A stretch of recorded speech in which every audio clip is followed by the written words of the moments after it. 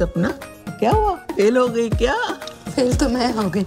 आज मैंने उसे शर्मिंदा किया। इस उम्र में सब बच्चे अपने माँ बाप को शर्मिंदगी ही समझते हैं। माँ बाप को नहीं सिर्फ़ माँ को।